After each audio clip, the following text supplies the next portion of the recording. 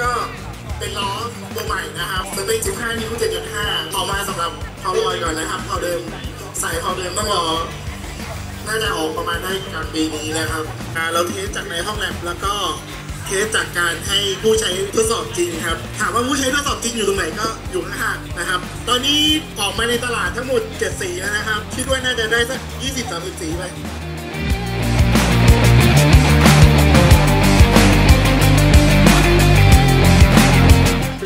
ข้อแม้ต้องยกลงไปเองด้วย